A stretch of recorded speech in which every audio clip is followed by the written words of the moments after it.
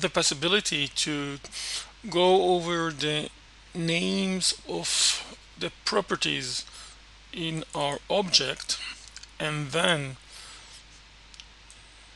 refer our object as an array that its keys are the names of the properties and the values are their equivalent values allows us to use the for in loop for getting not only the names of the properties but also their values.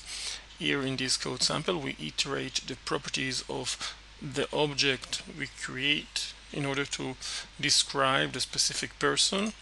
And uh, then using for in loop we iterate the properties of that object. And for each and every property we get its value using this syntax. Let's execute.